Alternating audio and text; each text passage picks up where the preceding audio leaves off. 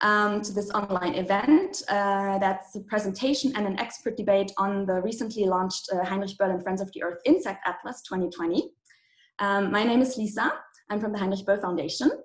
Um, I'm speaking to you from Germany today, but I am usually based in Brussels, um, where I work for the EU office um, of the foundation. And the Heinrich Böll Foundation is the German Green political foundation that is affiliated with the Green Party that is represented in Germany's federal parliament. And I'm the head of the International Climate, Energy and Agriculture Policy Program. And as such, I have worked on different issues around the European Green Deal, among other things, um, the biodiversity strategy and the farm fork strategy that we're going to touch upon later um, in this webinar. Before we start with the content, let me briefly explain some technical uh, details. I think you're all uh, not new to Zoom by now. Um, so please be aware um, of the chat function. You can um, shoot us uh, messages to either uh, the panelists or all attendees. And you can also use that to exchange, share links um, on anything that you have expertise on. And we also have the questions and answers section. This is to be used for um, questions that you would like to address to our panelists. And you can also use that to like other people's questions so that they appear further up. And I will take that into account when I forward questions to our um, panelists later. Um, and be aware of the fact that this webinar is being recorded. Um, so you can forward that to your colleagues that were unable to join. Um, yes, so that was the, the technical details. Let's uh, start right off with uh, the content. And um, in order to get an idea of um, who you are and who is listening, I ask you to um, answer a little poll and also to wake you up and get you a little active. And this is a polling um, in order to uh, yeah know which sector you are from. Are you rather from civil society? Are you from academia? Are you from business, politics, or other? Just to get an idea of our fellow um, attendees. So I see that we have quite a lot of people from joining from the civil society, quite a few others. Half of you voted. Okay, that only gives us um, a rather good idea. Quite a lot of um, representatives from the civil society, NGOs, foundations, etc. Okay, great. You can also see that, right? So, great. Um, and then I have another question for you. Um, the second question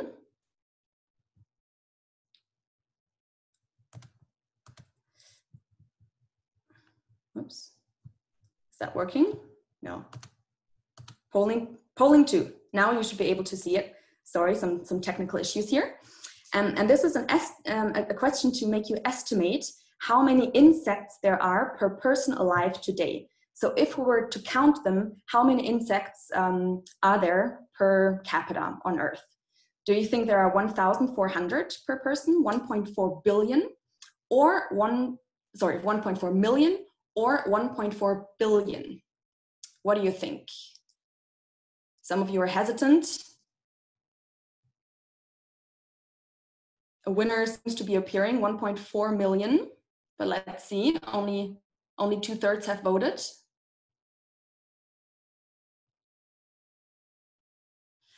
Okay, we, we seem to have a winner. Most of you chose the middle, but fun fact, it's actually 1.4 billion. And I think that's a very uh, fascinating um, and just mind blowing fun fact. Um, that there are so many insects from over 5.5 million species as well. And that was also a test um, for you whether you have already started to read our insect atlas that has been la launched very recently because um, that fun fact is actually one of the first um, sentences that appears in the atlas um, which is going to be the center of our debate today. So um, insects keep the plant's ecological uh, system running and ensure our food supply. They improve soil quality, reduce plant pests, but they are, as we all know, under massive threats. And in this online event, we will explore the most important reasons for the European and global decline of insects in numbers and diversity. And we will talk about how the EU can support climate and insect-friendly uh, methods of farming. We will, um, as it is very topical, focus on the EU biodiversity strategy that was um, published just uh, over a month ago, as well as the, as the EU farm to fork strategy. And we will also touch upon the common agricultural policy, um, which obviously plays a big role in this regard. The agenda of this event is the following. We will first have a presentation, a very short presentation um, about the Insect Atlas itself, uh, some, some key messages, um, some, some takeaways. And then we have a keynote uh, speech by um, Humberto Delgado Rosa from the European Commission. And then we will have um, comments from civil society, the European Parliament, and um, academia on the Insect Atlas and the biodiversity and farm to fork strategy. And at the end, we have um, a panel where um, you can also um, ask your questions. So I, I, invite you to, whenever you have a question, already um, write it in the questions and answers section. So without further ado, I now give the floor to Dr. Christine Chemnitz. She is the head of International Agriculture Policy Division at the Heinrich Böll Stiftung in Berlin. And as such, she has already worked on uh, different atlases, such as the Meat Atlas and Agriculture Atlas. And now she's going to present the first uh, Insect Atlas. Um, and Christine, the floor is yours. Thank you so much, Lisa. I will share my screen. Give me a short sign if you can see everything. Perfect. So thank you very much, Lisa, and thank you for giving me the opportunity to present the Insect Atlas to all of you. Um, so let me first start with what is actually the Insect Atlas and why did we publish it? The Atlas compiles scientific available knowledge, and I would say it translates it to from, from scientific language to understandable language. So we do that because the Heinrich Böll Foundation, we believe that agriculture and agricultural policy concerns not only farmers and experts, but actually all parts of the society. So we believe that if we want a better agricultural policy, we need a broad and lively public debate about our agricultural system and how it connects to our environment. Since these topics are sometimes complex and hard to understand, um, we aim to explain them in an understandable way. And this is actually what we do with the atlases.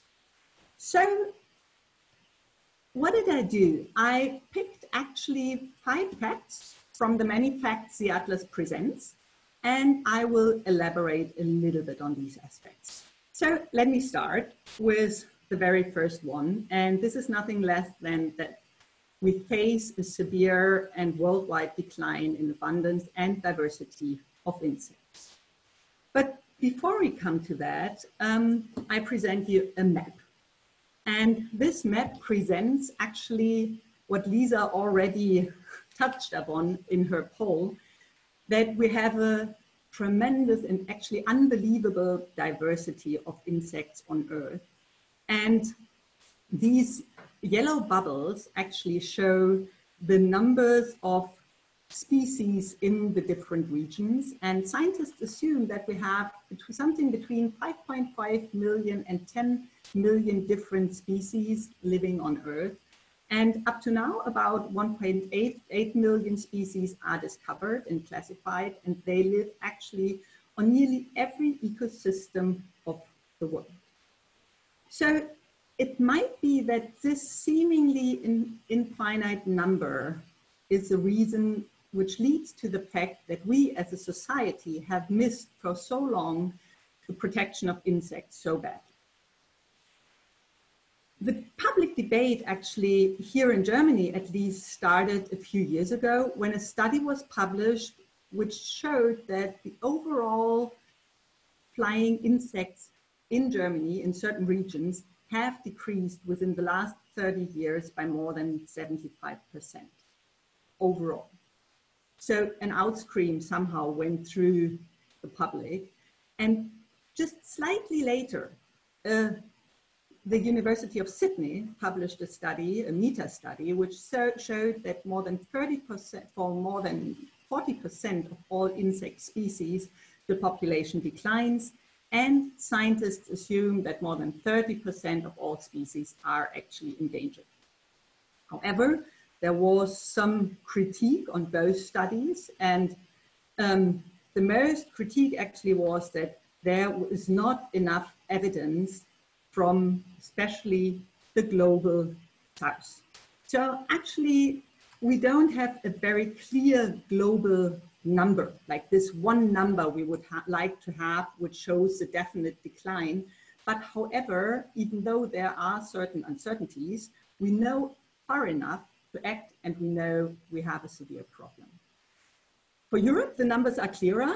The decrease in wild bees and hover flies have been clearly documented. At least one out of 10 bees and butterfly species is threatened with extinction. And of the 2,000 wild bees in Europe, more than 9% are thought to be threatened with extinction, according to the European Red List. The most difficult thing you actually can see on this little map uh, here on, this, on my screen to the lower left side is that most of the studies which are available actually come from either the EU or the US. And we tremendously lack scientific knowledge from the global south and from those countries where we have the most agriculture, the strongest agriculture expansion and intensification of agriculture actually. So for example, take Brazil or um, Asia or as well the African countries, you can see we tremendously lack scientific knowledge here that more than three quarters of all studies which look at the decrease of insects, um, see agriculture as the most important reason for insect decline. Three sub-aspects I would like to highlight is one is the monotony of the agricultural landscape, which is insects just miss fodder plants and places to hide and live. The second is pesticides, and the third is the increase of animals kept in intensive production systems in stables, uh, um, and instead of raising them on pasture. So what has the use of pesticides to do with the decrease of insects? Pesticides are worldwide still tremendously on the rise. You can see that on this graph, actually on the smaller uh, lower right part uh, in, in the graph here. Um, worldwide use of pesticides has increased 50 times since 1950. And since 1990 alone, the use has almost doubled. In 2018, global sales amounted to 56 billion euros, and industry forecasters assume that up to 2023, the market will increase to 82 billion euros. So the market for pesticides is growing, even though that it is known that they are a threat to insects. And it's most strongly growing actually in Asia, more precisely in China, but as well in South America, which is one of the most promising markets uh, of the future and um, the EU curve is rather flat, actually. Some EU countries increase their use of pesticides, others markets are saturated. So, but overall, the market is really relatively stable. It doesn't, uh, it doesn't de decrease. So you might think, oh, great, then like this global thing has nothing to do with us. But unfortunately, you are wrong because the EU is and actually Germany in the front line is among the most important pesticides exporters on the globe.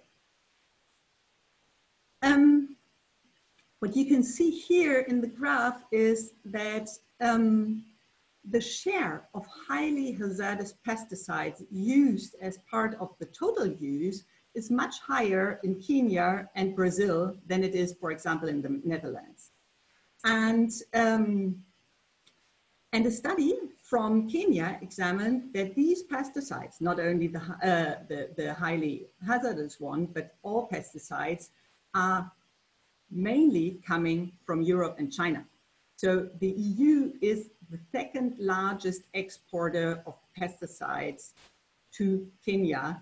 And so our policies and our regions and our economy has a lot to do with the decrease of insects in other regions of the world as well. So we have to get our policies right here, and um, I'm happy that we talk about this today. And that brings me actually to my second point, which is our industrial meat production is a major driver of global insect decline as well. Um, so the global hunger for cheap meat is triggering actually a chain reaction of deforestation, monocultures, and pesticide use. You might remember my very first slide actually with the yellow bubbles, and you might remember the huge bubble on South America. Now, to put it simple, we are currently sacrificing actually land in Brazil and other uh, South American countries so the most biodiverse countries in the world to produce soy, to get cheap meat for our industrial meat production. Of the almost 2 million classified insect species worldwide, Brazil is home of 9%. Yeah, and at the same time, Brazil is now, since 2018, the major exporter and producer of soybeans. And it produces soybeans on more than 36 million hectares.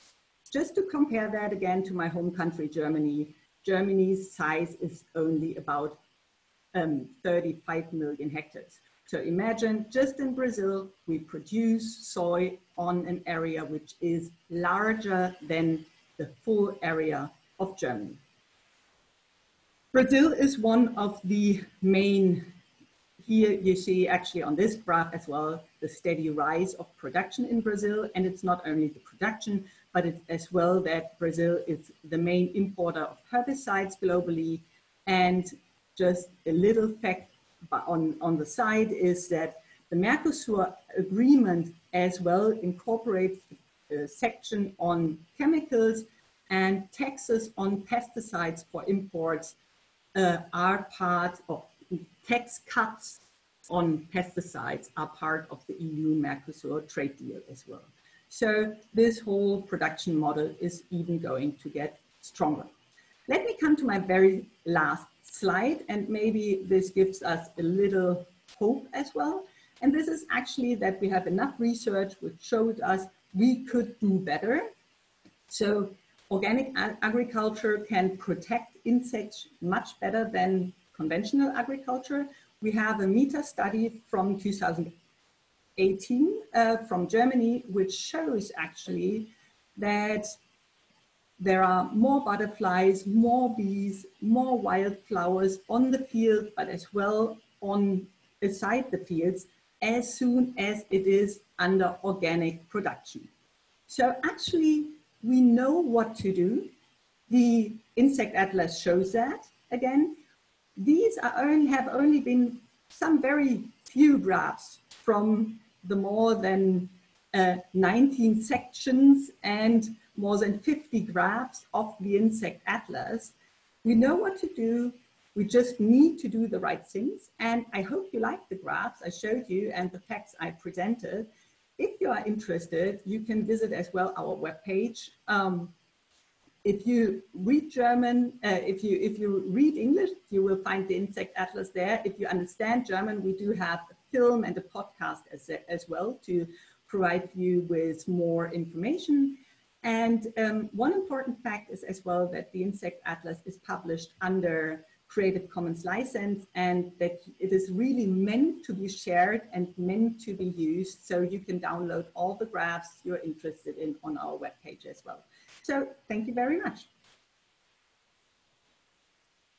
Thank you so much, Tina, for that very nice overview. And I really invite you to check out the web dossier as well, where you can find all these graphs and obviously the Insect Atlas as PDF as well. He is um, the, the director of the Natural Capital Unit in DG Environment of the European Commission and is now going to talk about the highly topical um, biodiversity strategy and Er spricht jetzt über die Biodiversität. on May 20th.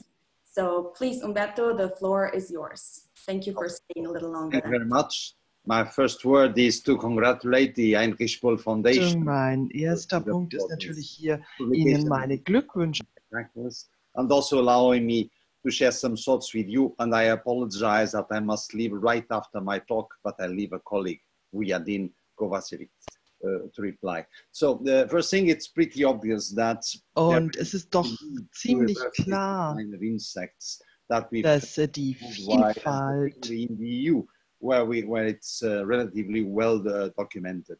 Uh, and we've seen, I don't need to repeat the figures because we've just, we've just listened to how dramatic the situation is and how worrying it is. But now there's here an interesting point. We could be in a situation where only scientists would be worried about this, you know, in insects. Why, why would the, the lay person worry about? People usually don't like that much bugs and insects. But I would claim that insects have made their appearance, appearance in politics through exactly public opinion. Uh, this decline of insects comes together with other mm, yeah, major changes that people perceive as a problem and which indeed are as a fact a problem. Extreme weather events, plastic in the ocean, uh, mega fires, uh, forest fires uh, uh, uh, in many places of the world. But I think this decline of insects gives to people a perception of an, a risk, an encirclement, encirclement of pollution and, and naturalness that they don't like. So I think in, indeed public opinion takes into account this fact to a certain extent and does politics move and indeed uh, their appearance is here. But uh, if the evidence is very clear on this uh, decline, there are of course gaps in knowledge and we need more knowledge to fully understand what's happening in not only in the world, but what are the causes, how can we act. In any case, there's another element of science that is pretty clear which is there's uh, the need and even urgency to make our uh, food systems and our agricultural systems more future-proof, more sustainable. Um, if we don't do it, it will be to begin with the agriculture itself that will suffer from the soil degradation, water scarcity, and the loss of some services nature provides, one of which is pollination, which happens to be largely provided by insects. So I do think this keyword pollination, pollinators, is part of the attention that the decline of insects receives because everyone understands it, from the farmer to the economist to the layperson to the scientist, of course. Um, another uh, important point is that um, uh, agriculture does depend on pollinators. At the same time, as we have seen, some forms of intensification of agriculture are also connected to the causes of decline. So uh, the knowledge that this atlas uh, brings in, uh, including in what amounts to how to do our food production more sustainable, is very useful and needed right at this time when we have not only this ambitious Green Deal, but also indeed these two strategies that came in May the EU Biodiversity Strategy 2000-2030 and the Farm, to Fork Strategy. I would claim these strategies exactly address these three elements needed to bring insects back because they aim to recreate habitats. There's a huge EU nature restoration plan in the biodiversity strategy that includes putting back 10% of highly diverse landscape features the edges, ponds, trees, uh, flower strips that we've lost immensely in the last decades in Europe. It also aims to reduce the pressures, such as minus 50% of the use and risk of pesticides until 2030, and specifically minus 50% use of the most dangerous ones, or reducing by 50% the excess uh, fertilization and by 20% the use of fertilizers all this will go in the direction of allowing more room for insects, insects to recover. And indeed, also these, both the strategies do promote a transition towards agroecological and uh, practices and agro agroforestry. Organic farming is only one of the most known agroecological practices. And indeed, the proposal is to get to one quarter of EU agricultural land to be organic by 2030. Now, one key issue is farmers. Farmers are fundamental partners in this transition. Some fear this ambition of the strategies, but indeed, when we look to public uh, opinion polls on farmers themselves, there's a majority on the side of doing more for the environment or willing the common agriculture policy to deliver more for the, the environment. So we need to work with the farming community and helping in the transition. And indeed, what's the tool for that? Well, it's precisely the common agriculture policy that should help farmers in the transition towards a sustainable uh, agriculture. Here I would give one word, which is there's a new a proposal for a new common agriculture policy that the Commission has tabled. It does bring some uh, novelties like enhanced conditionality for the environment and climate, the eco schemes, the environmental and climate management uh, commitments that are in the proposal of the Commission. Some say it's not enough, some say it's too ambitious. There's one thing we, we now see clear. The proposal can match the ambition of the Green Deal, provided its ambition is maintained or even reinforced by the co-legislators. So I think this is a, a, very important point so that we can indeed give more flexibility to member states to solve their agricultural problems, but keeping this uh, role of the Commission to ensure the green architecture, as from the Green Deal and Farm to Fork and biodiversity, can be fulfilled. Uh, I would also say that the Atlas uh, uh, points in the, the, right direction in the sense of also addressing a more sustainable food, food consumption. And actually the Farm to Fork strategy does aim to reduce food waste and also to stimulate dietary changes towards a more plant-based um, approach that releases land for other purposes.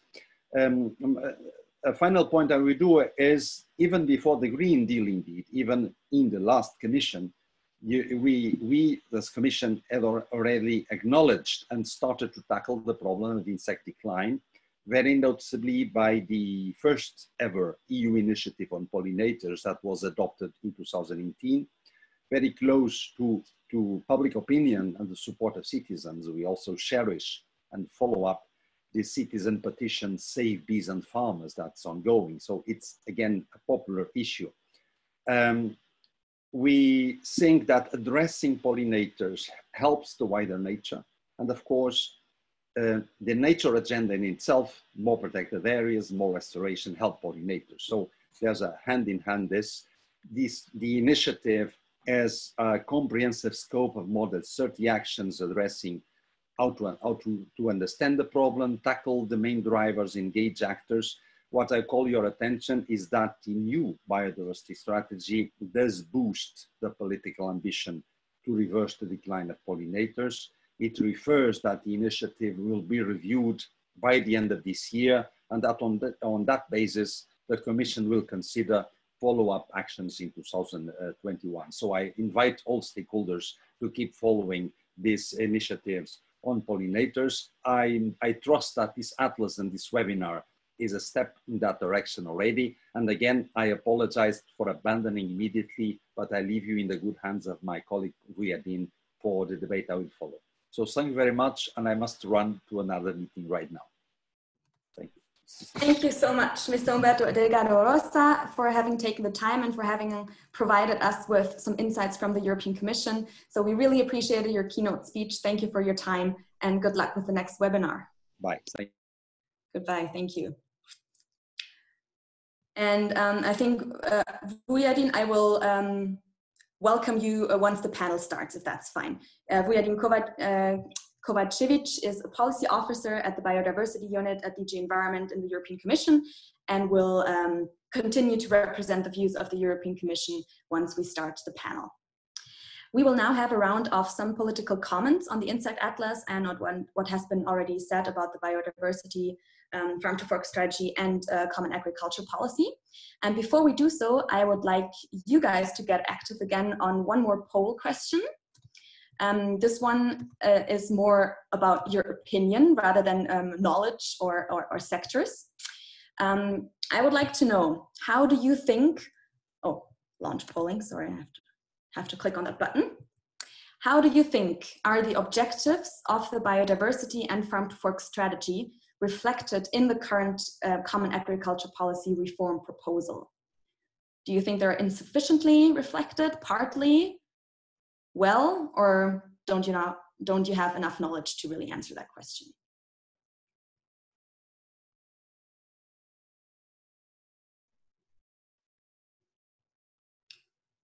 Okay, so I can see that um, very few think that it's really well um, reflected. Most of you think it's not sufficient. Some of you think one, one third, about one third thinks that they're at least partly reflected. And also one third doesn't really know. So um, with our political comments, yes, this is working. Okay, I will close the poll now. Um, with that in mind, um, and, and, hoping to, to learn some more about your different, different views, I will now um, start that round of, of, political comments. And we will start with a member of the European Parliament, namely Martin Häusling from the Greens, EFA. He is um, himself a farmer and was elected to the European Parliament in 2009. And there he is a member of the EU Agriculture Committee and also a member of the EU Environment Committee and is the agricultural policy spokesman for the Greens. So um, Martin is going to speak in German, so please, for the non-German speakers, make sure that you clicked on the English button. Um, so Martin, how do you see the recently published strategies and the CAP uh, in the light of the key messages that were outlined by, uh, by Christine Chemnitz in the Insect Atlas? Ja, erstmal ganz herzlichen Dank an die Böll Stiftung, dass dieses Webinar zustande gekommen ist und dass wir den Insektenatlas nochmal wirklich einer breiteren Öffentlichkeit äh, darbringen können. Wir müssen über Insekten reden, obwohl wir im Moment in Deutschland ganz viel über Fleisch reden wieder. Also nächstes Mal muss die Böll-Stiftung wieder ein Fleischatlas machen, glaube ich. Aber ähm, jetzt haben wir ja eine, eine Vorlage der Kommission, die tatsächlich meiner Meinung nach sehr gut gelungen ist. Die Biodiversitätsstrategie und die Farm-to-Fork-Strategie ist wirklich was, wenn man das liest und man sagen kann, ja, äh, das sind, glaube ich, die richtigen Antworten. In vielen Bereichen sehr weitgehend, muss ich sagen. Also 30 Prozent der Fläche unter Schutz zu stellen, 10 Prozent der Agrarflächen sozusagen für Biodiversitätszwecke zu nutzen, klingt erstmal alles sehr gut. Ich sage das jetzt ganz bewusst, weil ich glaube, die Umfrage eben hat deutlich gezeigt, es gibt eine große Skepsis in der Umsetzung. Und wenn man mal zurückblickt, wir haben uns ja eigentlich in den Verträgen von Rio schon verpflichtet, den Verlust an Biodiversität im Jahr 2010 zu stoppen. Nicht jetzt eine Trendwende, sondern nur zu stoppen. Jetzt haben wir 2020, wir haben das nächste Ziel verfehlt und jetzt sagen wir 2030 wollen wir das erreichen. Das erinnert so ein bisschen an die Diskussion über die, über die Klimaziele. Ja, wir vertagen das immer weiter nach hinten und machen mit derselben Politik so weiter. Und das ist auch meine Kritik. Das habe ich auch jetzt in der Aussprache mit Herrn Sinkevicius, unserem Umweltkommissar, letzte Woche oder diese Woche im Umweltausschuss, im Agrarausschuss auch gesagt. Äh, wo sollen denn die Ziele jetzt in der gemeinsamen Agrarpolitik verankert werden? Wir verhandeln zurzeit eine Agrarpolitik, die im Wesentlichen die Fortsetzung der bisherigen ist. Ähm, es soll in der zweiten Säule jetzt ein bisschen mehr Geld geben, das ist richtig aber nicht genügend. Und in der zweiten Säule der Agrarpolitik, da werden ja die, die langfristigen Umweltprogramme angesiedelt. Da ist jetzt nicht wesentlich mehr Geld.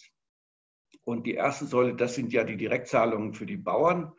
Da sollen 30 Prozent bei den Mitgliedstaaten genommen werden an Geld für, äh, für freiwillige Umweltleistungen. Freiwillige. Das heißt, für das Land ist es verpflichtend, für das Mitgliedsland verpflichtend 20 oder 30, da sind wir noch gar nicht einig. Äh, an Umweltleistungen in der ersten Säule auszuweisen. Für den Bauern ist es freiwillig. Und die Frage, wie soll denn das jetzt erreicht werden, diese anspruchsvollen Ziele, also 30 Prozent Ökolandbau, Förderung äh, bei der Umsetzung der, der größeren Zahl an Flächen für die Biodiversität, das muss ja irgendwie umgesetzt werden. Und das kann ich nur erreichen, wenn ich den Landwirten einen Anreiz gebe. Genau das wir, was wir ja als Umweltverbände und als Grüne auch immer fordern, ist ja öffentliches Geld für öffentliche Leistungen. Und ich muss einen Anreiz geben. Und dafür wird das Geld nicht ausreichen. Sondern für viele Bauern, die konventionell wirtschaften, die werden sagen, lohnt sich nicht, mache ich nicht. Und ich kann auch nicht im Gegensatz zu ähm, der Garde Rosa erkennen, dass viele Bauern äh, von sich aus bereit sind, das zu machen. Ich glaube, es müssen zwei Ansätze sein. Zum einen müssen wir tatsächlich diese ganze Agrarpolitik umstellen, weg von einem System der der Flächenzahlung, die nur darauf beruht, dass äh, ich Bauer bin und eine Fläche habe und dafür kriege ich Geld. Das ist nach wie vor im jetzigen Programm der Europäischen Union im Vorschlag, sind das 60 Prozent der Gelder ohne nennenswerte Verpflichtung. Und das kann auf keinen Fall so bleiben. Und da müssen wir den Hebel ansetzen. Das andere ist aber auch, wenn ich 50 Prozent Pestizidreduzierung erreichen will, dann wird das auch nicht nur freiwillig gehen, sondern wir müssen unsere Zulassungskriterien für Pestizide ganz dringend ändern. Ich sage immer, unser Zulassungssystem ist ein einziges System von Irrungen und Wirrungen. Wir schauen immer, zehn Jahre ist ein Stoff auf dem Markt und dann fängt eine Diskussion an, ist er denn doch schädlicher, als er im Grunde genommen vorher eingeschätzt wurde. Letzte Diskussion um Neonicotinoide. Wir haben die ganze Diskussion um Glyphosat wieder vor uns. Und wir werden merken, irgendwann werden wir bei vielen Pestiziden merken, dass die langfristigen Folgen wesentlich drastischer sind, als wir alle äh, bei den Zulassungen äh, es im Auge hatten. Und deshalb, äh, egal ob das jetzt im Grunde ein ganz gefährliches Pestizid ist oder eins, was angeblich weniger gefährlich ist, wir müssen runter von den hohen Anwendungen. Und das geht dann auch nur gesetzlich. Also im Grunde ist mein Vorschlag immer, äh, die Bauern dürften nur noch auf Rezept eigentlich anwenden und nicht, wie sie es für ihre betriebswirtschaftlichen äh, Maßnahmen für sinnvoll halten, wenn sie Pestizide anwenden. Das ist ja eine betriebswirtschaftliche Entscheidung. Und da muss man deutlich sagen, äh, das kann die Gesellschaft so nicht akzeptieren. Das Zweite ist, äh, und das hat auch ganz viel mit, mit der GAP-Reform zu tun, wir müssen wieder die Landwirtschaft vielfältiger machen. Das heißt, wir brauchen Fruchtfolgen. Die durchschnittliche Fruchtfolge in Deutschland sieht so aus, Mais, Weizen, Gerste. Wenn es gut ist, dann kommt noch Raps dazu. Das ist keine wirkliche Fruchtfolge. Wir brauchen wieder mehr Leguminosen. Und äh, gerade bei dem Punkt Leguminosen äh, müssen wir auch sehen, unsere Verantwortung für den Import von Soja ist enorm. Wir sind zweitgrößter Importeur. Wir importieren von 25 Millionen Hektar Soja in die Europäische Union und wir sind mitverantwortlich für den Verlust an, an primären Wäldern, vor allem in Südamerika. Das ist ganz klar und dieser Verantwortung müssen wir uns stellen. Und dann sage ich, gehört jetzt nicht ganz dazu, aber dann können wir mit solchen Ländern wie mit Brasilien nicht noch ein Freihandelsabkommen abschließen. Das ist eigentlich völlig kontraproduktiv, weil dieses Land wird nicht nachhaltig wirtschaften und da muss Europa ganz klar eine Reißleine ziehen. Ähm, ich sage auch noch was zum Stickstoff, weil der ist ja auch in, den, in dem, in dem Insektenatlas angesprochen. Wir haben ein viel zu hohes Niveau an Düngung. Kommission sagt jetzt, wir müssen um 20 Prozent reduzieren. Das wird in vielen Bereichen nicht ausreichen, denn wir haben ja gerade da den meisten Verlust an Insekten, auch an, an Vögeln, die davon leben, in Regionen, die früher mal sehr extensiv waren, also Magerwiesenflächen zum Beispiel. Und diese Flächen haben wir gar nicht mehr. Wir haben einen Stickstoffüberschuss auf jeden Hektar in der Europäischen Union von 50 Kilogramm. Das kann nicht so bleiben mal ganz abgesehen davon, dass sie eine enorme Gewässerbelastung haben. Und das sind alles Faktoren, wo wir jetzt wirklich rangehen müssen. Und äh, ein Satz noch, ich glaube einfach, äh, es wird nicht funktionieren, wie es die Kommission sich denkt, dass diese GAP-Reform dann auch in der Lage ist, äh, genau das alles zu erfüllen.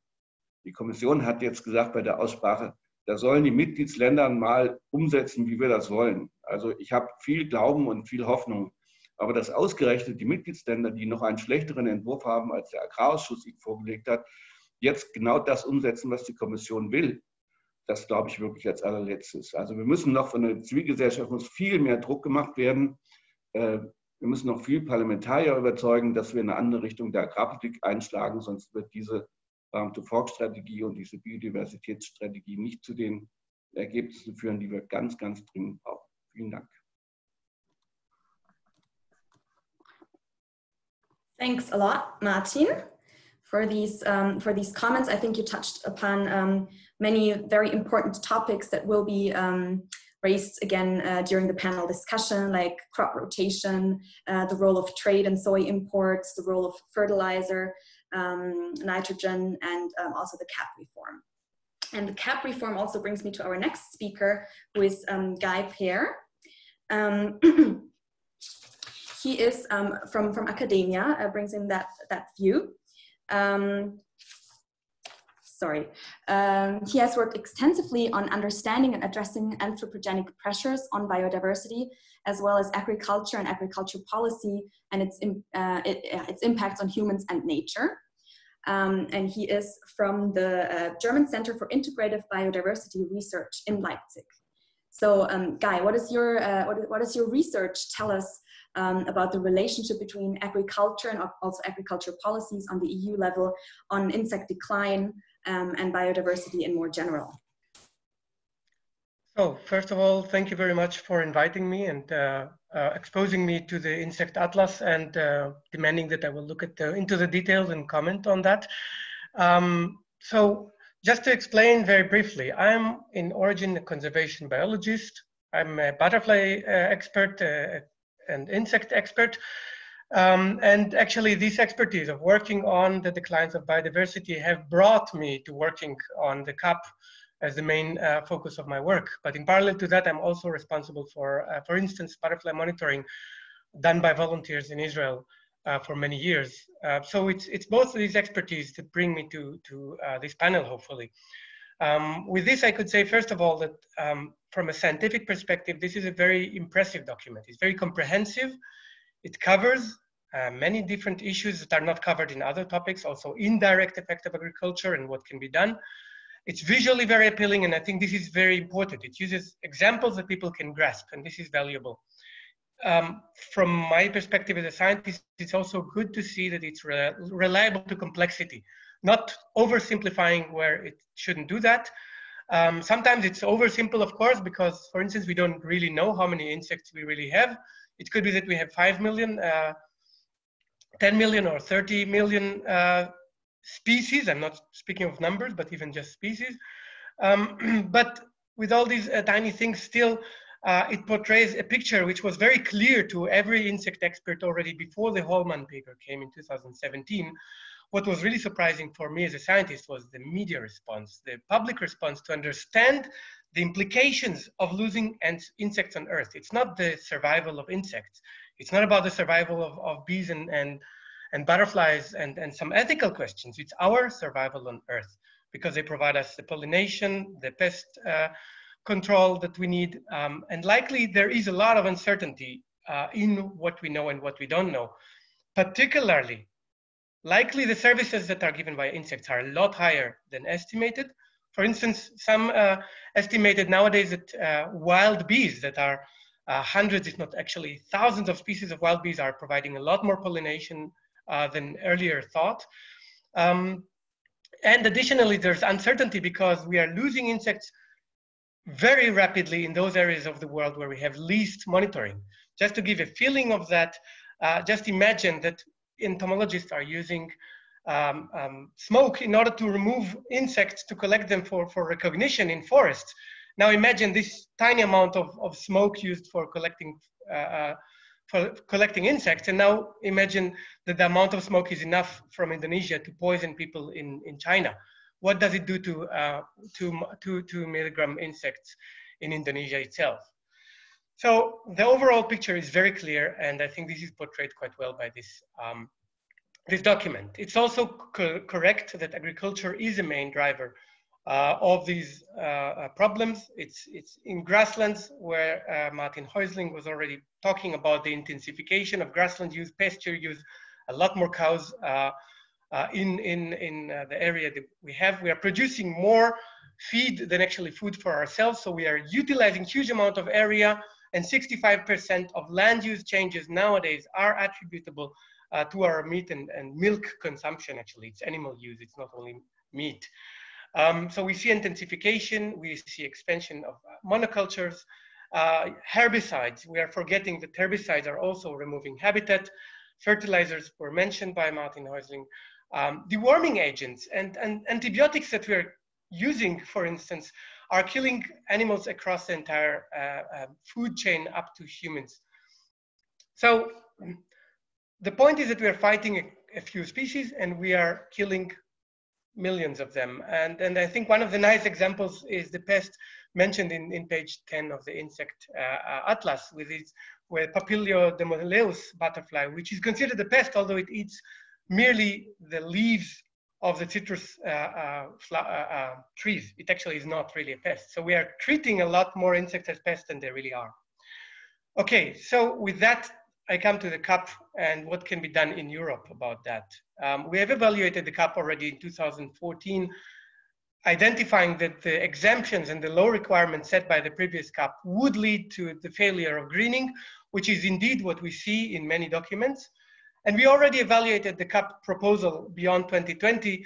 And here I can only say that uh, the knowledge that exists was not taken up. The experience that exists in science on how we can do better was not taken up. And for this reason, 3,600 scientists have signed our petition or a call for the EU to take the knowledge that exists and to really implement it, uh, to take an action for the next CAP. The EU biodiversity have implications that are not yet possible to implement in the current CAP. And we do have a narrow but a critical time to improve the CAP uh, towards doing better. Now to explain, the CAP is not the driver of all these processes, but it's only an instrument which is failing to offer solution because most of the money is simply wasted uh, in giving farmers money without any requirements. Uh, and we have evaluated and found out that basically there's little impact of the CAP on farm management because people simply take the money and do whatever they want. Um, and this is not following the ideas of, of uh, public funds for public, um, for public goods, public, public payment for public goods. Um, and actually both farmers and the public uh, can and did ask for the CAP to do better. So with that, I think the, the critical issues to consider is that there's too much flexibility in the CAP, there's too much vagueness, which could be easily reduced. Just define what grasslands are and what quality grasslands are, and you'll be doing a lot better. Avoid empty measures or empty greening options, and this will apply for the new instrument called eco schemes. If the eco schemes will remain as vague as they are at the moment, they will not operate. And if the hope that eco schemes will save the world will remain, then we will lose the game because eco schemes are merely an instrument in pillar one, which is based on annual payments for farmers. So if you do an annual contract, how can you maintain fallow land for five years or even more? How can you maintain things that take time for, for uh, species to build themselves? How will you restore the landscape features that we lost in 2009 after abolishing the set-asides? So what we really need here is, is clarity on what are 10% landscapes, how organic farming will be also biodiversity friendly because a lot of the organic farming production is not sustainable with all this plastic irrigation from south of Spain in biodiversity sensitive areas. We will fail the game if we don't define what are the implications of the EU biodiversity strategy for the CAP. And we need to do it now and not wait to implementation when the design is already bad. Um, now, indeed, it's not only the CAP. We will need to look into the farm to fork strategy we need to think about our impact in Brazil and other areas as consumers. We need to know our impact when we're uh, consuming so much milk and, and meat uh, products, and to realize that the soy production in Brazil is for our consumption in the EU. That includes trading agreements, but it mostly requires courage from policymakers to address um, the food security uh, versus production and protection uh, narrative, which is just counterproductive both farmers and the public have the same interests. Thank you. Thank you very much, Guy. And don't hesitate to also share some of your um, research papers or interesting links in the chat so that our participants can, can check them out. Um, and you said that um, yeah, a lot of scientific evidence has not really been taken up and that uh, scientists are waking up, that you have signed um, like a letter, you can also post that in the chat. And that also brings me to civil society, that is also waking up and becoming more and more concerned. And that's our um, last com comment from Veronika Feicht. She is a member of the Circle of Organizers of the European Citizens Initiatives Save Bees and Farmers, which you might have heard about already. And she's an agricultural policy campaigner at the Umwelt um, Institute in Munich.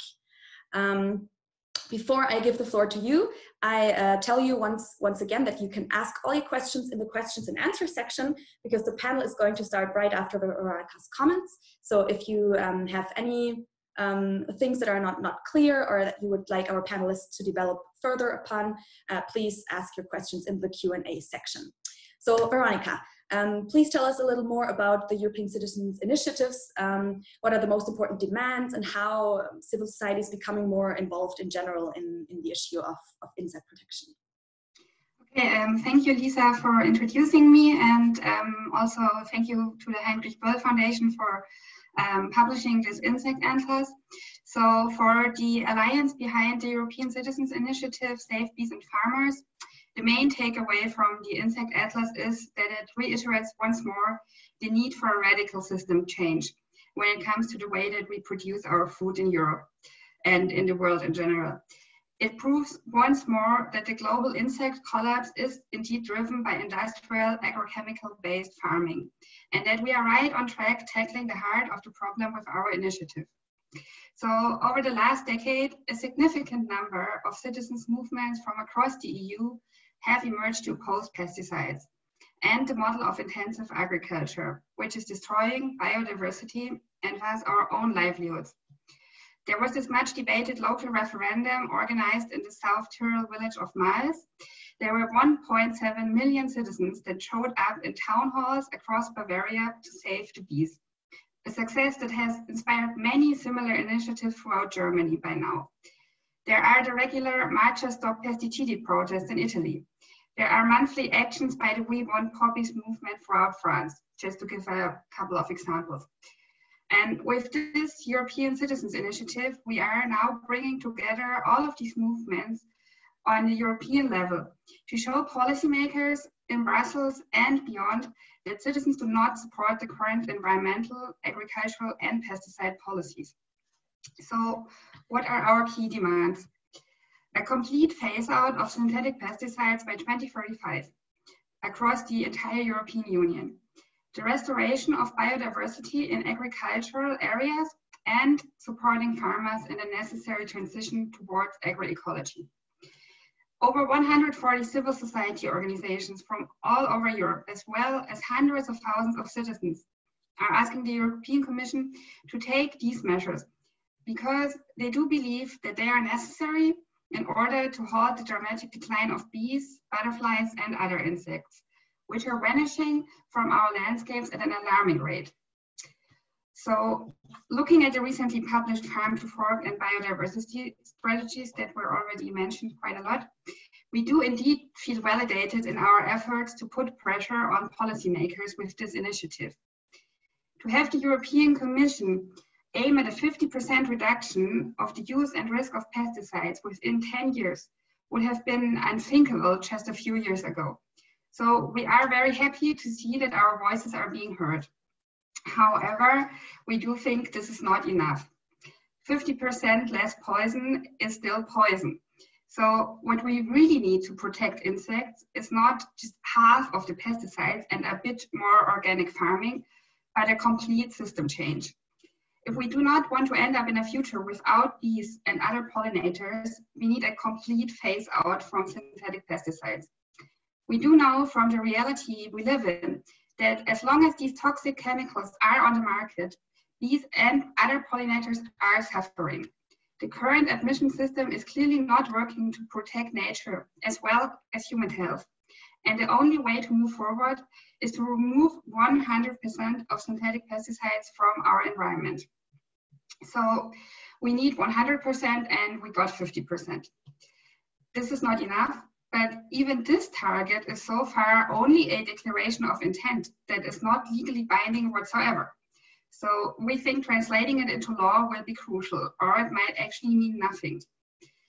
Looking at the Commission's reform plans for various pesticide regulations, it looks like the responsibility for implementation is being shifted, of course, towards member states when at the same time, according to the Commission itself, it's apparently the member states that have until now failed in even adequately translating existing pesticide regulations into a reality that actually does protect biodiversity and human health. This is, of course, in no small part due to the massive lobbying efforts on national governments by the chemical industry, which will no doubt fight the 50% target with force too. So we are not convinced yet that even the 50% reduction will actually become a reality. All of this when what we really need is a change in cultivation practices and thereby a true system change. Uh, far from this, the Commission seems to be set on trying to achieve the reduction within the current system via technical measures, trainings, and control methods that have been proven to be ineffective. Accordingly, the Civil Society Alliance behind the Save Bees and Farmers, ECI, will continue their efforts to collect 1 million signatures across the European Union and keep fighting for a 100% phase out of synthetic pesticides, as well as the restoration of biodiversity and a real system change in the way that we produce our food.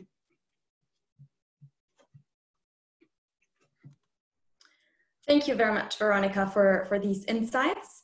And um, also check out the chat. Um, so Guy has, has shared some interesting links and uh, we also posted the link to the European Citizens Initiatives uh, so that you can, you can join the movement if you would like to do so.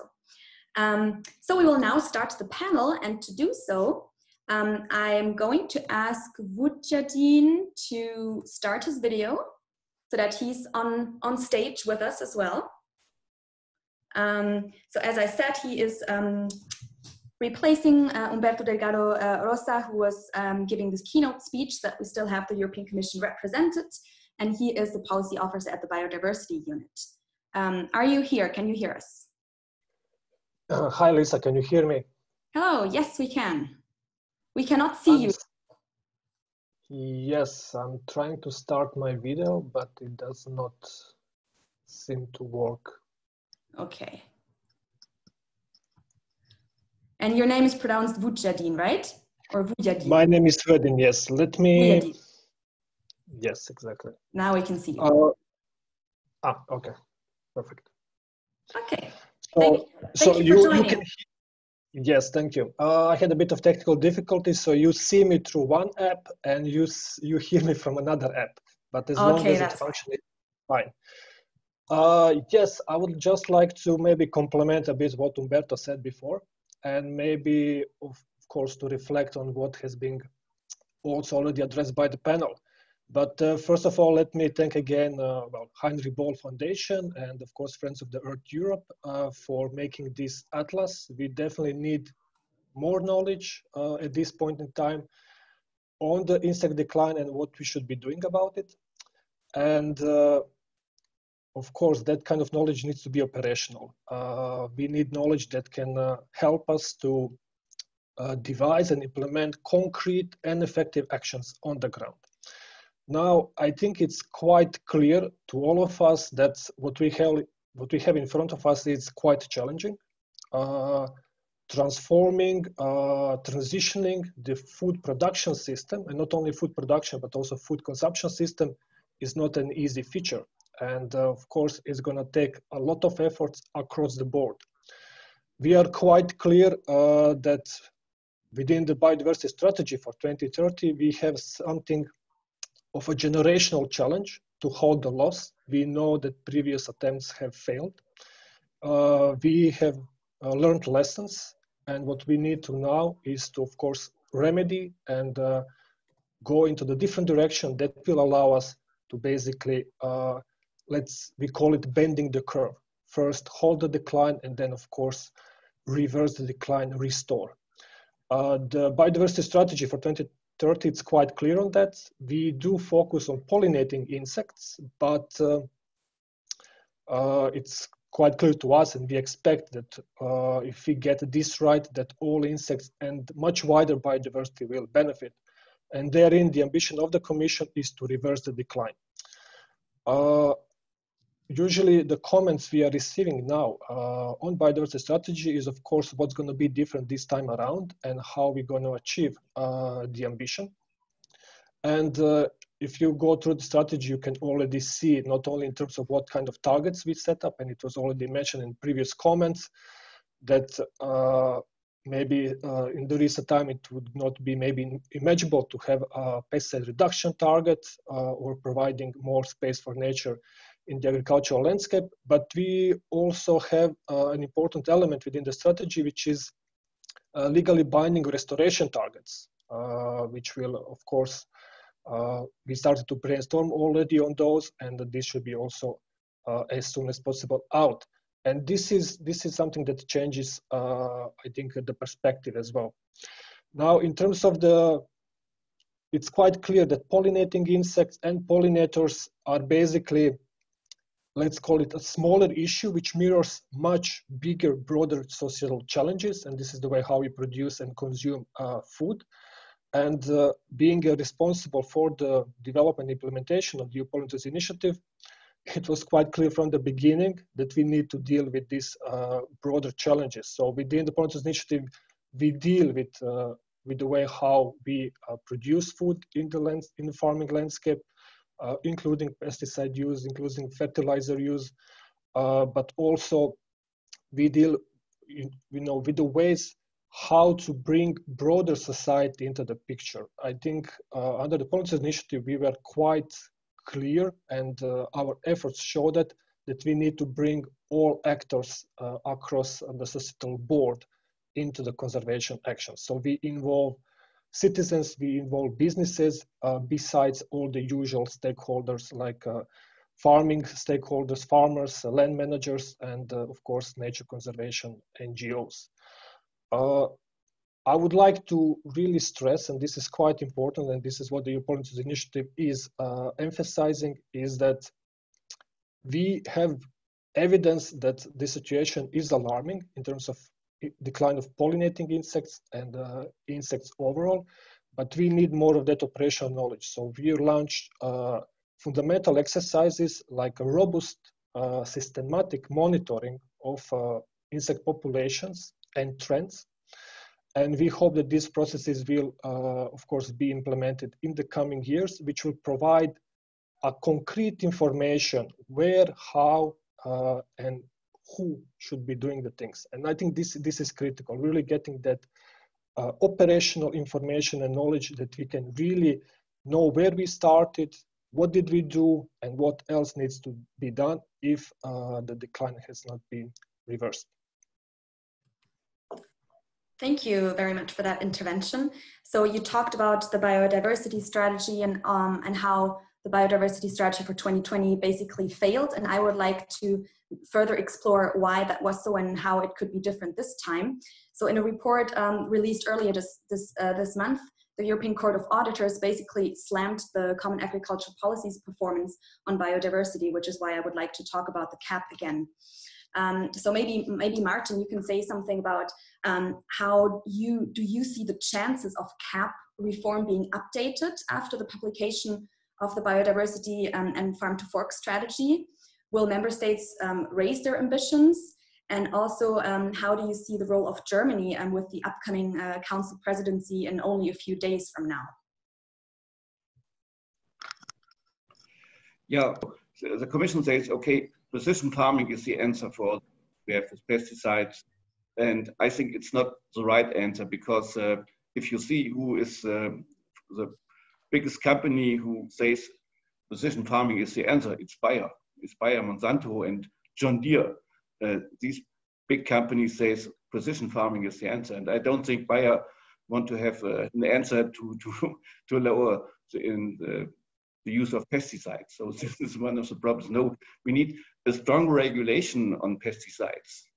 We need uh, uh, better regulation uh, for pesticides. This is the answer. And if the Commission don't want this, they never get uh, less than 50% of use of pesticides. I don't think so.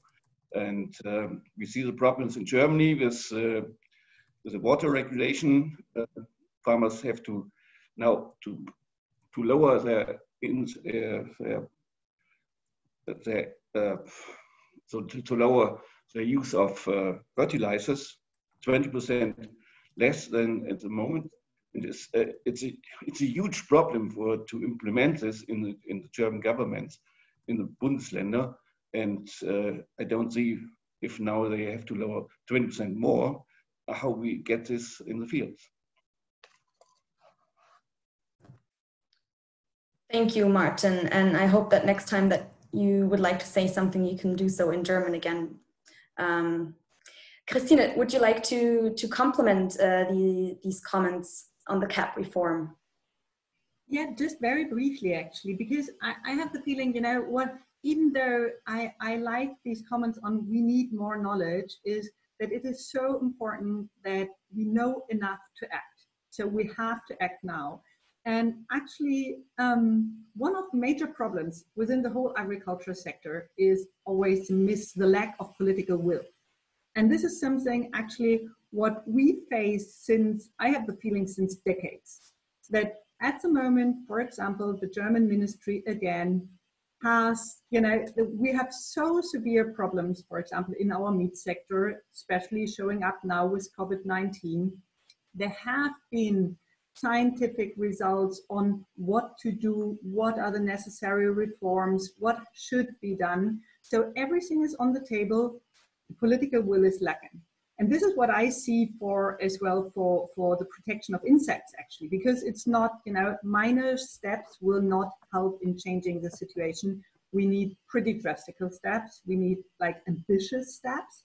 And this is something where, you know, it's not, it's not enough to, to just as has been said before by Veronika as well, that we reduce pesticide use a bit, but continue with everything else the same way we did before. But we really need to change our the way we produce and consume. And so we need ambitious member states governments. And the question is, what do we need to get them there? And I think actually public pressure is one.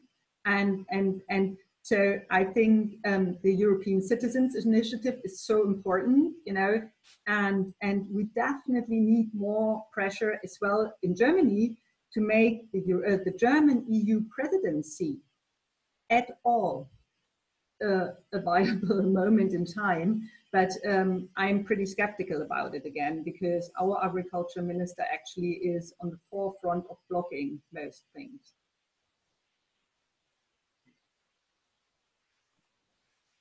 Yes, thank you, Tina, for these um, for for complementing the, Martin's comments.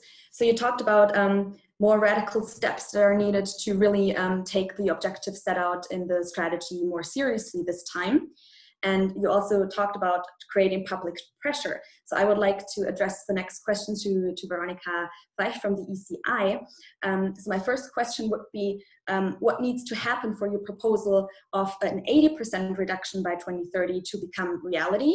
And we also have a question in the Q&A section um, related to that. I don't know if you, if you saw that. Um, yeah, how, how, you, how do you think this can be um, yeah become reality in only 10 years from now. Yeah so um, our overall goal of course um, as i said is um, to have a hundred percent um, yeah to be a 100 percent pesticide free by 2035 but we do plan to reach this goal via a gradual phase out including a first step of an 80 percent reduction by 2030 which is of course 30% more than what the Commission is proposing. And to get there, we propose that within two years, um, the pesticides that are part of the candidate for the um, substitution list shall be phased out as they are among the most toxic active substances on the market. And within five years, um, we propose insecticides and herbicides shall be phased out while fungicides um, should be gradually phased out within 10 to 15 years, leaving time for agricultural sectors that are highly susceptible to fungi to develop innovative practices. Obviously, to achieve this, um, the necessary economic framework conditions must be created, which is why we are proposing that the CAP money be put to good use towards the necessary transition towards agroecology. And above all, this means, of course, that alternatives to synthetic pesticides must take precedence politically, an objective that is clearly lacking from the current plans by the Commission. For us, this means favoring farmers that use sustainable, poison-free farming methods. It also means investing in research on agroecological methods through public resources, which were so far allocated to the research of agrochemicals. Of course, we realize that simply removing pesticides from the current system of intensive agriculture and just waiting to see what happens is not the way. What we need is to move away from input intensive monocultures towards a variety of knowledge intensive cultivation practices, such as crop rotation based on smallholder agriculture and, of course, adapted to local and regional parameters. And just to get back to the question in the Q&A, um, I, I already um, provided an answer, um, a written answer in the chat, but I just want to reiterate that um, there is no evidence to support the, the claim that we need synthetic pesticides to feed the world. In our opinion, this is a myth created by the chemical industry. And if you look at the science, for example, this um, report that I, that I quoted in the chat by the um, International Assessment of Agricultural Knowledge, Science and Technology for Development, they actually do recommend kind of the opposite, which is including um, improving agri-ecological and low input farming methods. And you can look at this um, in this um, PDF, which I can send a link to later, but you will not find anything that tells us we do need synthetic pesticides to feed the world. So yeah, that, that's something that I just want to like emphasize. This is a claim that we don't actually have evidence for, and I would advise against believing these myths created by the industry. Thank you. And I would also um, like to tell all our attendees, so if you click on the questions and answers section, you can also click on answered, and there you will find the written answer that Veronika has provided for the, for the question. Um, another question that was asked in the Q&A section is how, by um, Susanne Astik, how to address the contamination and collapse of fish due to the excess use of pesticides and also their dependency on insects. How are they, how are they interconnected and what measures um, are in the EU strategies um, already? Maybe the European Commission, um, um, Vujadin Kovacevic can, can say something about that and how can we best deal with that? So I will um, give the floor to Guy, who um, would like to answer that question live and who has expert knowledge on, on these interlinkages. Okay, I don't know if you see me well. I think something happened now technically. Um, no, you're fine. So, indeed, uh, in the last years, we've been increasingly exposed to impacts of the CAP and of agriculture on, on water. There have been some improvements actually in inland uh, uh, water management, especially because of, of, coherence of the CAP uh, with the cross, uh, due to cross compliance with the water framework directives. But we do see major impacts outside uh, and into the Baltic Sea, um, North Sea, etc. Um, so the point is actually that the same measures that we need for, for insect declines and the use of, of agrochemicals uh, will also address um, um, the, the water uh, problems. So I think in this sense, this is, this is going hand in hand in the same way also that we know what needs to be done um, with respect to climate and, and reduction of greenhouse gas uh, emissions. Uh, the problem of what you call surface pollution, which is basically to say agriculture uh, has been a, problem for many years, and actually the same solutions or the same set of solutions um, exist already for many years. The problem is uh, that they're not implemented, and partly because of, of science-free decisions. Uh, in the coming uh, CAP, the biggest uh, mistake, which is from a scientific perspective simply no-go, is the decision to cut on pillar one instead of pillar two of the CAP. the instruments to improve the CAP performance are not in pillar one. They are basically in rural development, and they are also tools to improve uh, rural development uh, problems, etc. So I think in this sense, uh, addressing both in the same basket and expanding on, on pillar two will be um, probably the best solution. Um, there's one more question that you might um, want to refer to at the very bottom, whether there are any um, economic and political analyses of the direct and indirect impacts of different necessary steps that we touched upon, like reduction of pesticides, more broadly reduction of unsustainable consumption, especially meat and dairy products, etc., because that would feed into the political dialogue. So that was um, Pier Paolo Piras from EU DEFCO. It's, it's actually a very good question, uh, partly because of, of two uh, main issues. First of all, the biggest criticism on the CAP misperformance comes from economists, not from ecologists, and it comes from many years. It comes also from the World Trade Organization for basically distortion of markets, for, for uh, competitiveness-oriented uh, behavior, which is counterproductive. This was the reason for the CAP to shift away from what you called coupled payments to area-based payments, but this is a new, uh, with new diseases. So the economic perspectives are known and fully ignored. If the CAP would be uh, an effective and if, efficient instrument, everybody would be happier. And that's actually, it, there is no need for an impact assessment of, um, of the implications of the EU biodiversity. And the second interesting issue is that when, when there were calls to perform an uh, impact assessment, or if you want a fitness check of the CAP, uh, the previous commission refused it. And I guess because they knew that the evidence is simply against the CAP as it stands. I mean, we performed a uh, fitness check of the CAP independently, and our findings were staggering and strong. The CAP is simply an inefficient and irrelevant instrument. Um, simply because of, of lobby pressures sitting on maintaining an interim solution called direct payments. Um, but actually direct payments don't even have an objective and they fail on their own objective of, of income support and employment. So in this sense, uh, even the bigger and stronger evidence on what needs to be improved in the CAP comes from the economic perspectives. Um, I don't think we need an impact assessment, but if so, science is there and there are many disciplines in science. Uh, so we need to remember that knowledge comes not only from ecologists, but also from economists, social scientists, uh, political scientists who have studied how the CAP behave and why it fails on its uh, reforms as well. Um, and with this, maybe I would, I would add that that's actually the, the moment we are in in history, which is really impressive. We have a new commission. We have uh, a new Green Deal, a farm to fork strategy. We have uh, three people in the commission, which seems to have a lot of ambition. Um, and I think this ambition is necessary because a CAP for sustainability from an economic, from a social and environmental perspective would regain public trust, trust not only in the CAP, but in the EU as a project. CAP is 40% of the EU budget. And if the CAP continues to fail, then the EU has a major problem. And in seven years from now, we cannot uh, take the risk of saying again that we failed. And it's not only failure for insects, it's failure for farmers. Um, farm employment is, is declining together with the increase in farm sizes. And we cannot continue these processes. Where I see the biggest uh, challenges is basically with the parliament. We see a bigger parliament now in terms of green aspects, but when I listen to the discussion earlier this week uh, with the commission, uh, the Committee for Agriculture, I did not see much improvement, unfortunately. And so maybe my recommendation that's where that's where Martin Häusling can step in again. He's already so.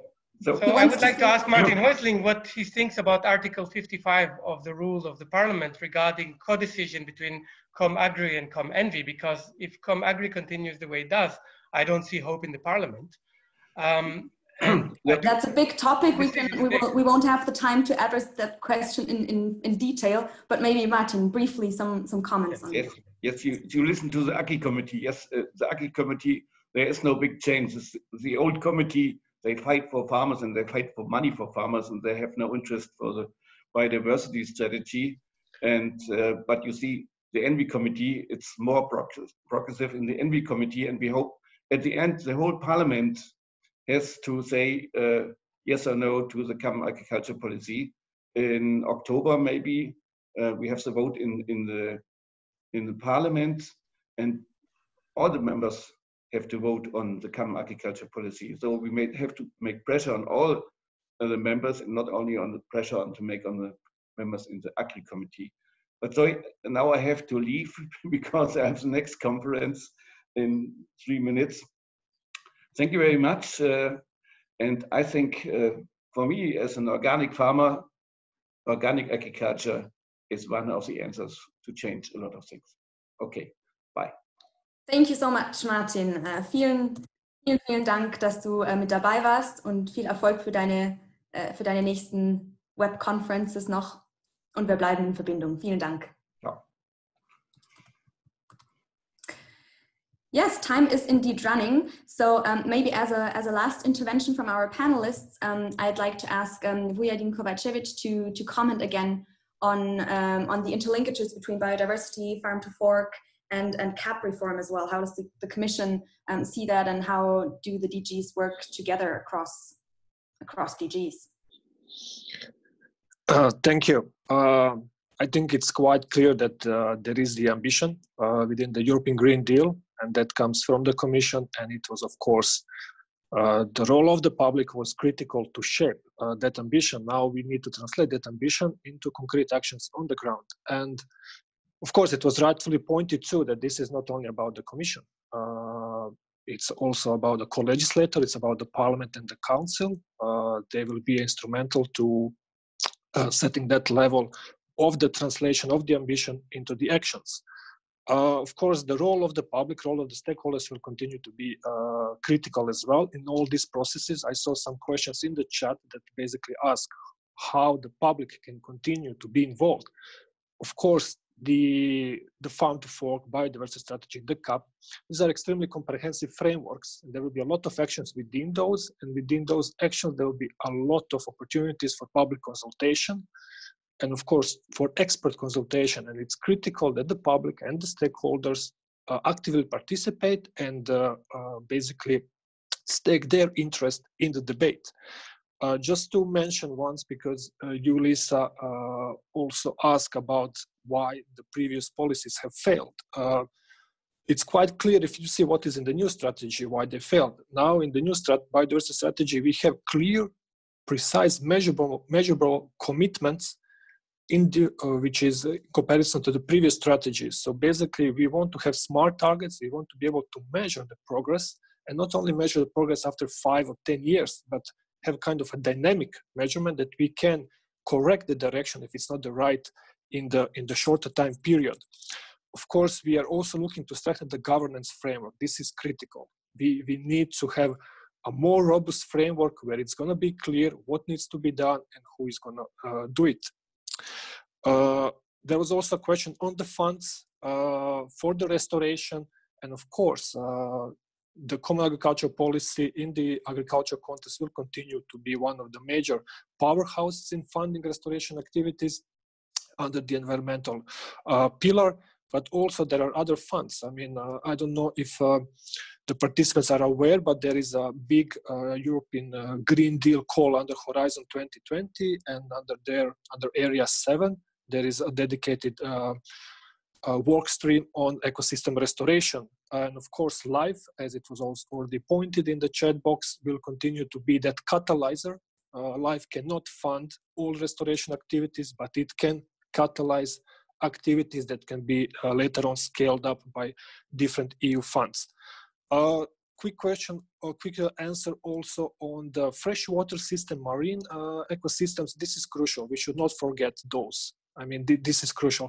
What we actually expect is that if we uh, take care of the food production, uh, ecosystems, this, this, will of course have ripple effects on other ecosystems. There will be less effluents going into our rivers and into our seas, and of course polluting less. So it's critical to address the problem at the source. And this is where, for example, Pollinators Initiative can definitely uh, help. And again, I repeat, we have uh, a provision for uh, legally binding ecosystem restoration targets, which we look to strengthen the existing legislative framework. So we have the Birds and uh, Habitats Directive, and of course we have marine uh, and water framework directives. And those kind of targets will bind everything together in a more coherent uh, framework. So I would say the main difference is that we want to measure, have clear targets that can be measured and that can be accessed, assessed not only in the long term, but also in the, in the short term. Thank you, um. So um, with uh, regards to the time, I now unfortunately have to wrap up the discussion, even though we still have a lot of things that we would like to talk about. Um, but I think it has become clear that um, until very recently, we have not paid enough attention um, to protecting insects despite their high value for both ecosystems and our entire economies. And farmers do not get paid for, for doing so either. But this is exactly what should, should actually happen. We talked about how the European Union still spends about 40% of its budget on agriculture, so there is money, um, but it should be spent in a more targeted manner to make climate and insect friendly um, models of farming more um, uh, attractive to farmers.